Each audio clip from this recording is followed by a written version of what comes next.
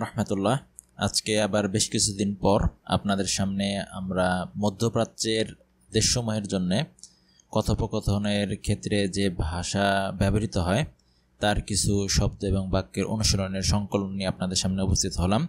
আশা করি ইনশা আল্লাহ এই ভিডিওটি যারা মধ্যপ্রাচ্যে অবস্থানরত রয়েছেন, তাদের কথোপকথনের ক্ষেত্রে কিছুটা হলে সহায়ক হবে। এছাড়া আজকে আপনারা যারা আমাদের চ্যানেলে নতুন কিংবা এখনও পর্যন্ত আমাদের চ্যানেলটি সাবস্ক্রাইব করেননি, তারা এরকম ভিডিও ভবিষ্যতে আরও দেখার জন্য আমাদের চ্যানেলটিতে অবশ্যই সাবস্ক্রাইব করবেন ইনশা আল্লাহ তো আর কথা বাড়াচ্ছি না, আজকে আমরা আমাদের মূল ভিডিও লিসনটি শুরু করছি। শুরুতেই রয়েছে আলকা।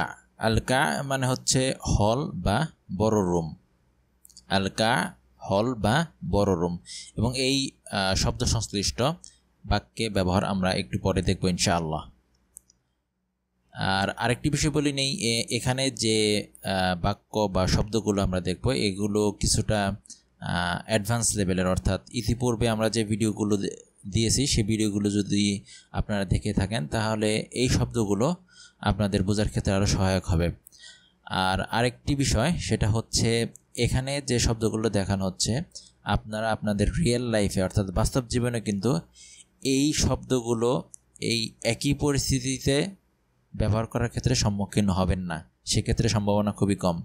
এখানে যে শব্দগুলো ব্যবহার করা হয়েছে, সেই শব্দগুলো আপনারা আপনাদের বাস্তব জীবনে যখন যে পরিস্থিতিতে ব্যবহারের প্রয়োজন, তখন এই শব্দ বা বাক্যগুলো ব্যবহার করবেন ইনশাআল্লাহ। তো মূল বিষয়টা হচ্ছে, এই শব্দগুলোর সাথে আপনাদের পরিচয় করিয়ে দেওয়া, যাতে করে যখন আপনারা কখনো মুখোমুখি হবেন বা এরকম শব্দ শুনবেন তখন যেন আপনারা বুঝতে পারেন। এরপরে রয়েছে মোতামার। মোতামার, এই শব্দটির অর্থ হচ্ছে সম্মেলন বা কনফারেন্স এবং এই মোতামার এর প্লুরাল ফর্ম বা বহু বহুবচন যেটা, সেটা হচ্ছে মোতামারত। মোতামার কনফারেন্স এবং মোতামারত। এরপরে রয়েছে ফুন্দুক। ফুন্দুক বা ফানাদিক। ফুন্দুক শব্দের অর্থ হচ্ছে হোটেল।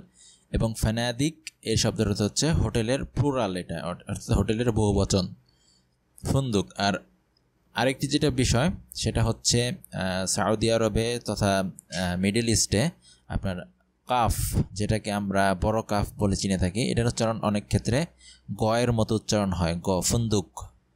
যেমন এখানে কিন্তু ফুন্দুক হচ্ছে না, ফুন্দুক, অর্থাৎ আঞ্চলিক অ্যারাবিকে এরা, এটা ওরা গয়ের মতন উচ্চারণ করে থাকে। এরপর রয়েছে নাদি। নাদি হচ্ছে ক্লাব। নাদি শব্দের অর্থ হচ্ছে ক্লাব। এটা যে কোনো ধরনের ক্লাব হতে পারে। অফিসার্স ক্লাব, সায়েন্স ক্লাব, এরপরে ডাইনার্স ক্লাব, অর্থাৎ যে কোনো জাতীয় ক্লাব এটা হতে পারে। এরপরে রয়েছে ইস্তেমা। ইস্তিমা মানে হচ্ছে মিটিং। ইস্তিমা মানে হচ্ছে মিটিং, আর ইস্তিমাআত মানে হচ্ছে মিটিংয়ের বহু বচন। ইস্তিমা মানে হচ্ছে মিটিং। এরপরে শরিক বা সুরাকা। শরিক মানে হচ্ছে পার্টনার শরিক পার্টনার সুরাকা হচ্ছে এই শারিকের বহুবচন। শরিক পার্টনার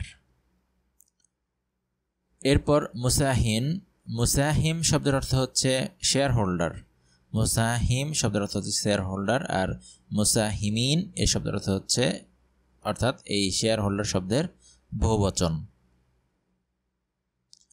হিদার শব্দের অর্থ হচ্ছে উপস্থিত থাকা। হিদার, উপস্থিত থাকা, হিদার, উপস্থিত থাকা। এখন আমরা যে শব্দগুলো শিখলাম, সেই শব্দগুলো আমরা একটা বাক্য আকারে এখানে তার ব্যবহার দেখব। এখানে খেয়াল করুন, বাদ। বাদ এই শব্দটির অর্থ হচ্ছে পরে। বাদ, পরে। এখানে বলছে, বাদ আল ইস্তেমা অর্থাৎ ইস্তেমার, অর্থাৎ মিটিং এর পরে। কোন মিটিং সেটা হচ্ছে মা মা শব্দের অর্থ হচ্ছে সাথে। সুরাকা আনা সুরাকা আনা মানে হচ্ছে আমাদের যে পার্টনার রয়েছে, তাদের সাথে যে মিটিং বাদ ইস্তেমা, মা সুরাকা আনা মিন শারিকাত আন্তার, মিন শারিকাত আন্তার, অর্থাৎ শারিকাত আন্তারের সাথে আন্তার, শারিকাত আন্তার মানে হচ্ছে, এখানে শারিকাত বলতে বোঝানো হচ্ছে কোম্পানি আর এই আন্তার হচ্ছে কোম্পানিটির নাম। অর্থাৎ এই শারিকাত আন্তার কোম্পানির সাথে মিটিংয়ের পর আমাদের কি করতে হবে? লাজিম মানে হচ্ছে অবশ্য কর্তব্য যেটা বোঝায়, সেটা হচ্ছে লাজিম। অর্থাৎ অবশ্য কর্তব্য। লাজিম নাহদুর, অর্থাৎ আমাদের উপস্থিত থাকতে হবে। যেমন হিদার শব্দের অর্থ হচ্ছে উপস্থিত থাকা, আর নাহদুর মানে হচ্ছে আমাদের উপস্থিত থাকতে হবে। আহদুর আমার উপস্থিত থাকতে হবে। তো নাহদুর নাহদুর, এরপরে ইস্তিমা এখানে বানানটা একটু ভুল হয়ে গিয়েছে। এই তাটা এখানে হবে। নাহদুর ইস্তেমা সানি, অর্থাৎ আমাদের দ্বিতীয় আরেকটি মিটিংয়ে উপস্থিত হতে হবে। মা মুসাহিমিনা, অর্থাৎ আমাদের যারা শেয়ার হোল্ডার রয়েছে, সেই সব শেয়ার হোল্ডারদের সাথে আমাদের দ্বিতীয় আরেকটি মিটিংয়ে উপস্থিত থাকতে হবে। তো এখানে যে শব্দগুলো নতুন, সেটা হচ্ছে বাদ মানে হচ্ছে পরে, মা মানে হচ্ছে সাথে। মিন অর্থাৎ থেকে। শারিকাত শব্দের অর্থ হচ্ছে কোম্পানি লাজিম মানে হচ্ছে অবশ্য কর্তব্য যেটা বোঝায়। আর সানি মানে হচ্ছে দ্বিতীয়বার বা পুনরায় আরেকবার। এরপর মা শব্দের অর্থ সাথে, মুসাহিমিন আমাদের শেয়ার হোল্ডার এরপর আল বেলাদিয়া শব্দের অর্থ হচ্ছে মিউনিসিপ্যালিটি বা পৌরসভা। আল বেলাদিয়া মিউনিসিপ্যালিটি বা পৌরসভা। এরপর হাদার্থ ইস্তিমা ফি বেলাদিয়া দুবাই। অর্থাৎ হাদার্থ শব্দের অর্থ হচ্ছে আমি উপস্থিত ছিলাম, যেটা অতীতের বোঝায়। অর্থাৎ এই হাদার্থ শব্দটি আপনারা আপনাদের পরিস্থিতির সাথে সামঞ্জস্য করে ব্যবহার করতে পারবেন। হাদার্থ, অর্থাৎ আমি উপস্থিত ছিলাম। কেউ যদি আপনাকে জিজ্ঞেস করে যে তুমি কি উপস্থিত ছিলে, তখন আপনি বলতে পারেন হাদার্থ, অর্থাৎ আমি উপস্থিত ছিলাম। তো হাদার্থ ইস্তেমা ফি বেলাদি দুবাই, অর্থাৎ আমি দুবাই পৌরসভার মিটিংয়ে উপস্থিত ছিলাম। হাদার্থ ইস্তেমা ফি বেলাদিয়া দুবাই। এরপর সেলিম হেদার, এখানে জিজ্ঞেস করা হচ্ছে সালিম হচ্ছে একজনের নাম, আর হেদার শব্দ অর্থ যেটা আমরা ইতিপূর্বে দেখেছি যে উপস্থিত হওয়া। তো এখানে জিজ্ঞেস করছে যে সালিম হেদার অর্থাৎ সালিম কি উপস্থিত ছিল? এখানে সালিমের পরিবর্তে যে কোনো নাম ব্যবহৃত হতে পারে, যেমন আবদুল্লাহ হেদার বা শেরিফ হিদার, অর্থাৎ যে কোনো নাম এখানে ব্যবহার করে আপনারা বলতে পারেন। এরপরে রয়েছে, অর্থাৎ পূর্ববর্তী স্লাইডে আমরা দেখলাম যে সে এখানে জিজ্ঞেস করা হচ্ছিল যে সালিম হিদার সালিম কি উপস্থিত ছিল? তো এখানে যাকে জিজ্ঞেস করা হচ্ছে সে উত্তর দিচ্ছে, এই নাম এই নাম মানে হচ্ছে জি ছিল, হেদার, অর্থাৎ সে উপস্থিত ছিল। লেশ মাই হাদের অর্থাৎ সে কেন উপস্থিত থাকবে না? অর্থাৎ বলছে যে উপস্থিত না থাকার কারণ কি তার? সে সে উপস্থিত ছিল। এ নাম নাম শব্দের অর্থ হচ্ছে হা, এ নাম হা? হেদার সে উপস্থিত ছিল। লেশ মানে অর্থ হচ্ছে কেন? মা ইহদের। অর্থাৎ সে কেন উপস্থিত থাকবে না? মা এখানে নেগেটিভ বা না বোঝাচ্ছে। ওয়েন শব্দের অর্থ হচ্ছে কোথায়? ওয়েন শব্দের অর্থ হচ্ছে কোথায়? তো এখানে ওয়েন এল ইস্তেমা মা মুসাহিমিনা, অর্থাৎ আমাদের শেয়ার হোল্ডারের সাথে যে মিটিংটি হবে সেটি কোথায়? ওয়েন আল ইস্তেমা মা মুসাহিমিনা, আমাদের শেয়ার হোল্ডারের সাথে যে মিটিংটি হবে সেটি কোথায়? এখানে বলা হচ্ছে, ফি কাতিল মুতামারাত ফি ফুন্দুক ক্রাউন ব্লাজা। এখানে দেখুন কাত শব্দের অর্থ আমরা দেখেছিলাম হচ্ছে হল। মোতামার শব্দের অর্থ দেখেছিলাম যে কনফারেন্স আর মোতামারাত হচ্ছে কনফারেন্সের ওই শব্দটির বহুবচন। তো ফি কাতিল মোতামারাত কনফারেন্স হলে ফিল ফুন্দুক ক্রাউন প্লাজা অর্থাৎ ক্রাউন প্লাজার কনফারেন্স হলে মিটিংটি অনুষ্ঠিত হবে। এখানে একটি বিষয় খেয়াল করুন, আরবি ভাষায় পি বা প এই শব্দটি কোনো সমর্থক কোনো বর্ণ নেই, যেটাকে পি দ্বারা বোঝানো যায়। তো যার কারণে আরবরা সাধারণত এই যেখানে পি বা এই প জাতীয় শব্দ থাকে সেটাকে তারা বাদার উচ্চারণ করে থাকে। যার কারণে এখানে বলা হচ্ছে ক্রাউন প্লাজা বা আপনারা দেখবেন যে তারা পেপসিকে বেবজি বলে থাকে। ইলাম ইলাম শব্দের অর্থ হচ্ছে বছর বা আপনারা আরেকটি শব্দ শুনে থাকবেন, সেটা হচ্ছে সানা। সানা শব্দের অর্থ বছর। ম্যাদি শব্দের অর্থ হচ্ছে অতীত। এরপর মুস্তাকবিল মুস্তাকবিল মানে হচ্ছে ভবিষ্যৎ। আর দাবিদ বা দুব্বাত, দাবিদ হচ্ছে অফিসার, অর্থাৎ মিলিটারি র্যাঙ্কের অফিসার, আর দুব্বাত হচ্ছে এই দাবিদের বহুবচন।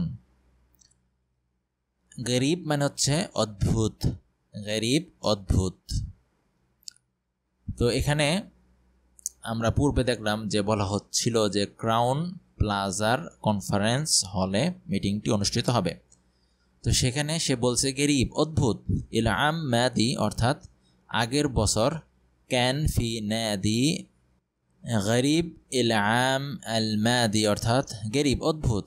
গত বছর ইল আম মাদি, অর্থাৎ গত বছর ক্যান ফি ন্যাদি ইল দুব্বাত ফি বুজাবি, অর্থাৎ গত বছর কি হয়েছিল? কান মানে হচ্ছে এই কান বা কানা, এই শব্দের অর্থ হচ্ছে অতীতের, অর্থাৎ ছিল, থাকা বোঝায়।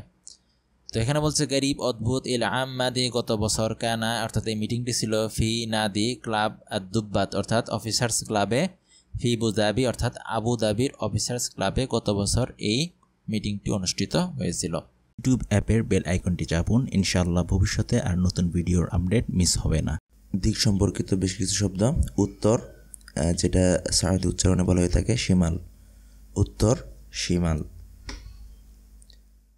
এরপরে রয়েছে দক্ষিণ, জুনুব দক্ষিণ, জুনুব, পূর্ব মাশরিক পূর্ব মাশরিক, পশ্চিম মাগরিব পশ্চিম মাগরিব।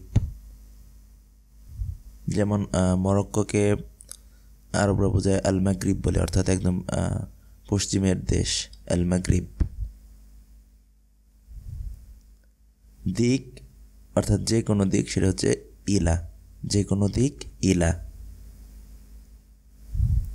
ডান ইয়ামিন ডান ইয়ামিন। বাম এসার বাম এসার। উপর ফোক, অর্থাৎ উপরে বোঝাতে ফোক। আর নিচে বোঝাতে হচ্ছে তাহাত। নিচে তাহাত। মাঝে ওয়াসাত মাঝে ওয়াসাত। গরিব এর শব্দ অর্থ হচ্ছে কাছে। গরিব, কাছে।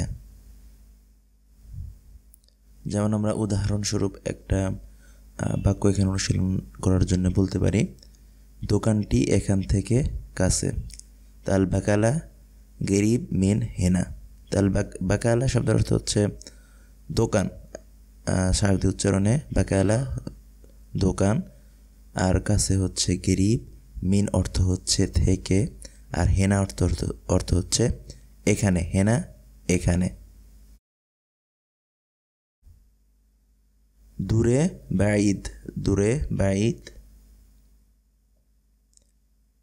যেমন উদাহরণস্বরূপ, বাজারটি বাড়ি থেকে দূরে, তাসুক বাঈদ মিন বেদ বেদ শব্দের অর্থ হচ্ছে বাড়ি, মিন থেকে। আর আসুক মানে হচ্ছে বাজারটি। এরপরে হচ্ছে পাশে জেনিব পাশে জেনিব। যেমন মসজিদটি বাড়ির পাশে, সেক্ষেত্রে হবে হায়দা মসজিদ জেনিব মিন বেদ। হায়দা মসজিদ জানিব মিন বেদ। সামনে গিদ্দাম সামনে গিদ্দাম। ফার্মেসিটি বাজারের সামনে। হাদা সাইদালিয়া মজুদ গিদ্দাম মিন আসুক অর্থাৎ ফার্মেসিটি বাজারের সামনে অবস্থিত বোঝানো হচ্ছে এখানে, যার কারণে মজুদ শব্দটি রয়েছে। তো হাদা সাইদালিয়া, অর্থাৎ সাইদালিয়া শব্দের অর্থ হচ্ছে ফার্মেসি। তো হাদা সাইদালিয়া ফার্মেসিটি মজুদ অবস্থিত গিদ্দাম সামনে মিনাসুক অর্থাৎ মার্কেটের। বা বাজারের। পিছনে ওরা পিছনে ওয়ারা। ওয়া, রা, আলিফ, হামজা ওরা হোটেলটি বাজারের পেছনে অবস্থিত, সেক্ষেত্রে আমরা বলতে পারি হাদা ফুন্দুক, মজুদ অরা মিনাসুক হাদা ফুন্দুক মানে হচ্ছে হোটেলটি। মজুদ অবস্থিত অরা মানে হচ্ছে পেছনে মিনাসুক অর্থাৎ বাজারের পেছনে। নতুন জেদিদ নতুন জেদিদ। এই গাড়িটি নতুন, সেক্ষেত্রে আমরা বলতে পারি হাদা সাইয়ারা জেদিদ, হাদা সাইয়ারা জেদিদ। পুরাতন গেদিম পুরাতন গেদিম। উদাহরণস্বরূপ এখানে আমরা আরেকটি বাক্য এসেছি, এই মোবাইলটি পুরাতন, সেক্ষেত্রে হাদা জাওয়াল গেদিম, হাদা জাওয়াল গেদিম। বা আমরা এইভাবে বলতে পারতাম যে এই বাড়িটি পুরাতন, সেক্ষেত্রে হাদা বেদ গাদিম বা এই গাড়িটি পুরাতন, হাদা সাইয়ারা গাদিম। মুস্তামেল মুস্তামেল হচ্ছে ব্যবহৃত, মুস্তামেল ব্যবহৃত। এই শার্টটি ব্যবহৃত, হাদা ক্যামিজ মুস্তামেল। বড় কবির বড় কবির। এই বাজারটি বড়, হাদা সুক কবির। হাদা সুক কবির ছোট সগির। এই বাড়িটি একটু ছোট। হাদা বেদ সোয়াইয়া সগির। সোয়াইয়া মানে হচ্ছে একটু বা অল্প বোঝাতে সোয়াইয়া শব্দটি ব্যবহৃত হয়ে থাকে। এই বাড়িটি একটু ছোট। হাদা বেদ সোয়াইয়া সগির।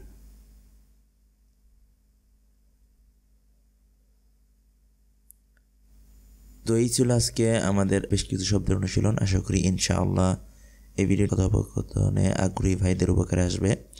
তো ভিডিওটি যদি আপনাদের ভালো লেগে থাকে এবং এরকম ভিডিও ভবিষ্যতে আরও দেখতে চান, তাহলে আমাদের চ্যানেলটিতে অবশ্যই সাবস্ক্রাইব করবেন ইনশাআল্লাহ। তো আজ নয়, আবার নতুন আরেকটি ভিডিও নিয়ে আপনাদের সামনে উপস্থিত হব। সে পর্যন্ত আসসালামু আলাইকুম রহমতুল্লাহ।